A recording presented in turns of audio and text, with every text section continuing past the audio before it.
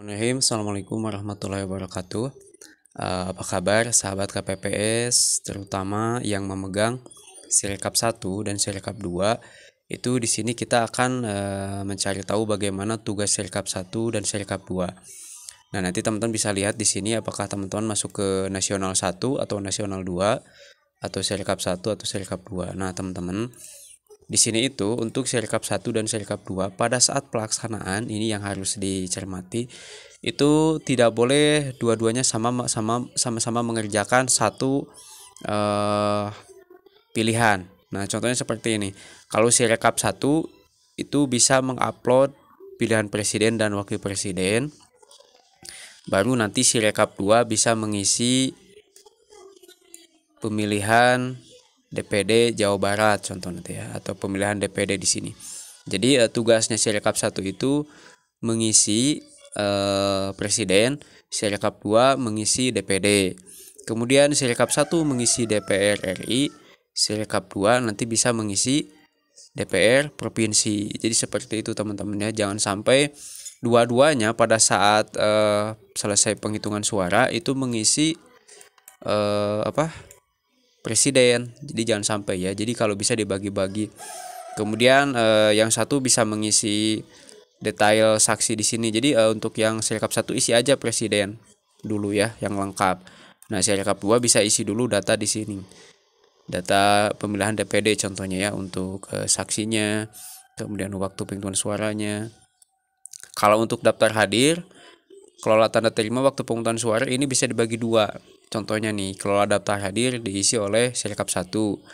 Kelola tanda kejadian diisi oleh Sirekap 2. Pemungutan suara Sirekap 1. Jadi Sirekap 1 daftar hadir sama pemungutan suara. Nah, kalau kalau Sirekap 2 bisa mengisi uh, tanda terima dan kejadian khusus. Gitu teman-teman kata uh, eh, KPU-nya. Jadi jangan sampai dua-duanya sama-sama mengerjakan uh, contohnya itu pemilihan presiden.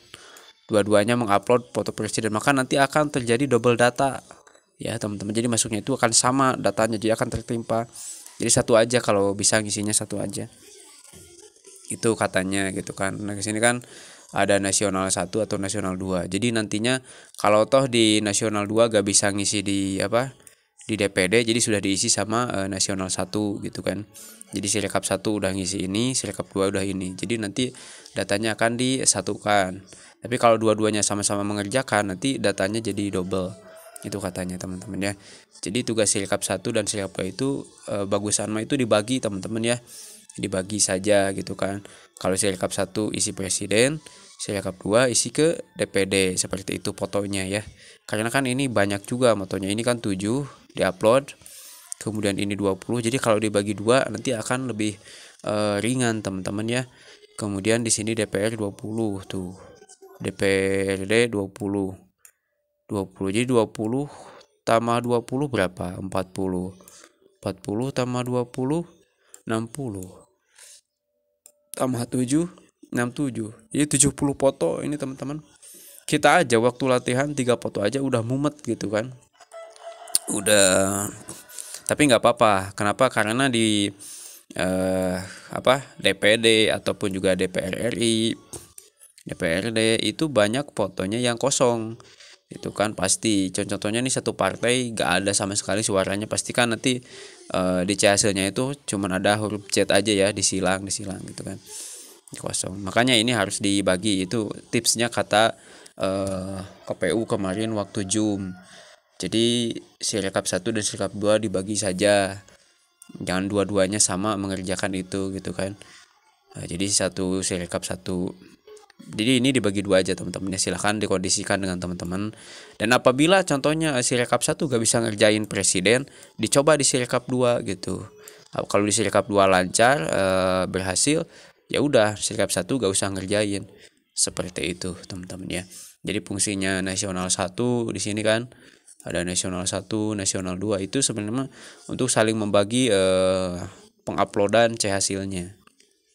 Itu yang ditunjukkan oleh uh, eh, KPU kemarin. Ya teman-teman ya hari ini adalah hari terakhir. Besok kita akan uh, berjuang bersama-sama untuk mensukseskan kegiatan pemilu. Uh, tips dari saya yang pertama itu fokus saja teman-teman ke uh, waktu pelaksanaan pemungutan suara ya.